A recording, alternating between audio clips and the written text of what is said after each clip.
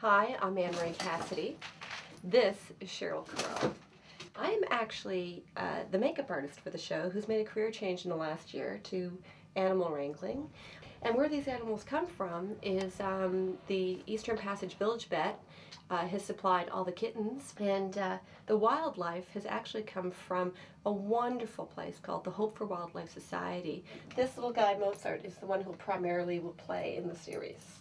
In shooting with wildlife, of course, the, our first concern is the safety of the animal and the fact that they are wildlife and should remain as such. We have uh, rules and regulations on set about who can touch the animals, who can approach them, and uh, and and trying to keep the just the contact down to a minimum. So there's a whole set of guidelines and also how to handle them so that we don't injure them. Crows, for example, don't have a diaphragm, so if you squeeze too hard, uh, it, it could cause an injury.